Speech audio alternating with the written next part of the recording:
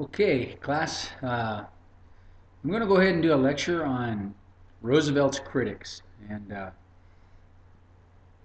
and I'm going to wing this one because I'm up at my in-laws vacation home and don't have my notes with me, but I think I can do this. So you have a speech by Huey Long, who is one of FDR's critics. On the back side of that are some lecture notes that you can use to uh, to follow along with me. And I'm and I'm I can't remember what order they came in, but but they did. the the first New Deal went very well for FDR in in terms of popular support. He uh, he gave Americans hope. Americans felt like he cared. Americans felt like he was trying and doing something to help them out.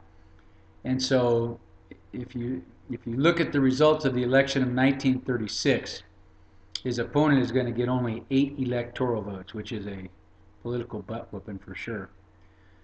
So, very, very popular. That being said, he did have his critics, all right? And uh, surprisingly enough, he had critics on both sides of the political spectrum. There were those who felt his New Deal wasn't doing enough, and there were those who felt like it did way too much, all right? And uh, so let me start with the ones who, who felt he did wasn't doing enough for the poor people or the lower middle class people of the United States. Right? Without a doubt, the biggest the biggest critic was, and his most dangerous critic in terms of politics was a senator from Louisiana by the name of Huey Long. Huey the Kingfish Long is what his people called him. Very, very, very popular in the state of Louisiana, very gifted speaker. if you uh, if you YouTube him. And sometimes I think if you just painted a little mustache like this, he's very dynamic, waves his hands. So, and I think he looks like Hitler myself. so if you put that little mustache on him, you might get a little Adolf Hitler there. And uh, well, he felt like Roosevelt was pandering to the wealthy bankers and the investors, the wealthy people of America. You know, felt like Roosevelt should have taken over the banks instead of helping them out to survive, instead of for protecting them, and uh, felt like he wasn't doing enough for poor people. And so, what Long proposed was a program called Share Our Wealth. And basically, the, the emphasis of this program would be to tax the snot out of the rich people, take the money from the rich people, and redistribute it to the poor people basically to give every American $5,000 to buy a home, a car, and a radio. Right? And that's how Huey Long got most of his support was via the radio. Um, and in addition to that, that would also provide $2,500 a year salary income, which was twice the income of the average American at the time. So $5,000 for a house, every man should be a king and have a castle was his slogan, I believe it was. And then $2,500. And again, where's he going to get this money? He's kind of like Robin Hood. He's going to take it from the rich and give it to the poor. And in fact, Huey Long was going to run for president in 1936 and gained you know millions of people in support but in the words of Forrest Gump, somebody shot that man. He was assassinated in 1935 by a local guy in Louisiana who uh, whose father had been done under by Long politics. So, so much for Huey Long. Another critic was a Roman Catholic priest called the radio priest, Father Charles Coughlin. Coughlin, Coughlin. Anyway, uh, again, first gained popularity on the radio, which was the medium of the day, giving uh, sermons. He became very popular. But eventually his sermons turned from religion to politics. And he particularly felt that FDR had befriended the bankers, who ought the money changers, as he called them. And uh, he was a Catholic priest, but he was also an anti Semite, which is a great vocabulary word for you to learn means he was against Jewish people. And it's, it's a bit stereotypical, right? But a lot of Jewish people in banking, and and so he was very critical of them. But he had a, a, a following of well over 40 million people on his radio program. Uh, and he had no political aspirations, but he just very critical of FDR and his and how he coddled the bankers, is what Fa- Father Coughlin uh, said.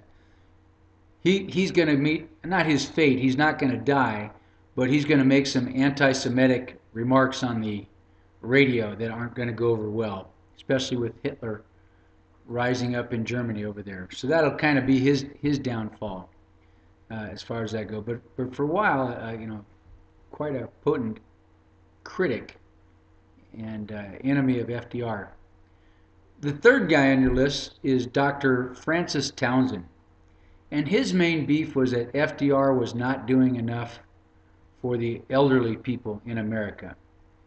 And uh, his proposal was that elderly people get some kind of pension, which I believe, can't remember exact figures, but about $250 a month, which is a lot of money at the time, uh, as a pension to take care of them. At the time, elderly people had nothing. Yet, literally, some people had to work until they died because they, you know, otherwise, what were you going to live off of? Right? Because there was no retirement unless you worked for a particular company that offered that, and not too many of them did. So, and and Roosevelt actually took his ideas, and in the second New Deal, he's going to pass a program that is a retirement program for elderly people called Social Security. Uh, and maybe that's because of the pressure from Townsend. Maybe it was F- on FDR's plate to do anyway. But he'll silence Dr. Townsend by, you know, following his plan and coming up with something for the elderly people that, that's going to help them give them an, an, an income in their elderly age so they don't have to work until they die or, or be a burden to their families. um, then there was a group on the right, the, people that felt like he didn't, he was doing way too much, turning our country into a, uh, a socialist or a communist country by the amount of government involvement that he was doing and, and uh, basically government taking over a lot, of, particularly the NIRA, which was establishing wages and and uh, uh, quotas and how much production, wages, and production of major industries, which is kind of a socialist thing to do. And so maybe their fears weren't totally unwarranted.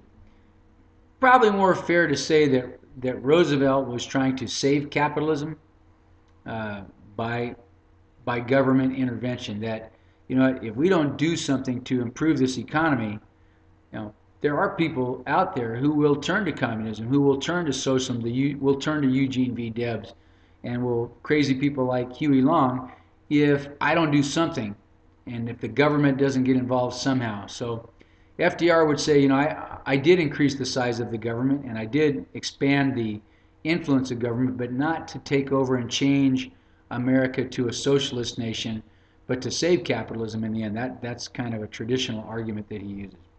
So critics like Al Smith, the guy who ran against Hoover in 28, um, oh gosh, you know, again, without my notes in front of me here, uh, there was actually an organization of conservative Democrats and um, Republicans who just felt like FDR's New Deal had gone way, way, way too far.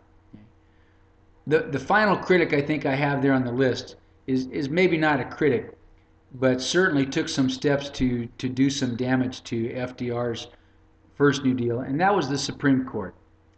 Uh, I, I, mentioned it before in other lectures that the Supreme Court declared two of FDR's programs unconstitutional. The first one was the NIRA, uh, and I'll take that one. Uh, their beef with the NIRA, and, and, and the name of the political court case, and you should know this one, it's, it should be on your top 10 Supreme Court cases, is the Schechter Poultry Company versus New York. Okay? And uh, they were uh, they sued because they they had uh, violated some wage restrictions that had been set up under the NRA, and uh, And so they sued in a court of law, saying, you know what, you can't really do this to us. And what the Supreme Court found, and this is important to understand the reasoning of why they found it unconstitutional, that number one, um, Congress was giving up its lawmaking powers to a regulatory agency, and that regulatory agency was the NRA, um, the National Recovery Administration. So you can't do that. You can't give lawmaking powers to them. They're the ones establishing the, the wages, they're the ones establishing production quotas, and that's your job, Congress. so you can't give that kind of power to a regulatory agency. The other problem was that the Schechter Poultry Company operated strictly within the state of New York and therefore is not subject to any federal uh, interstate commerce laws because their product did not leave the state of New York. So for those two reasons, the NIRA was declared unconstitutional. The other one was the AAA, the Agricultural Administration Act. And the problem there, if you remember, was that uh, farmers were being paid not to produce crops, trying to bring the, the price of crops up. Question is, where were they getting the money to pay them? they, uh, they got it from the, oh, what do they call that? Uh, the places that were, were the, the, the mills and the granaries that were taking whatever crops the farmers grew and turned them into bread, turned them into grain, turned them into flour, right? Um, the processors, that's the word I'm looking for, the processors. Tax the processors to pay the farmers not to grow crops. And, and simply what the Supreme Court said is you cannot tax one small group of people to then take that money and pay another small group of people. You can tax everybody and use that money to pay them. You can use government money, but you can't tax the processors and use it to pay the other group. Okay? So both of those declared unconstitutional. And uh, that's going to impact, FDR is going to try something in his second administration. And there's going to be um, another, and that, I'm going to have to, I'm getting a little long here and it won't produce, so I will talk about FDR in the Supreme Court on the next lecture.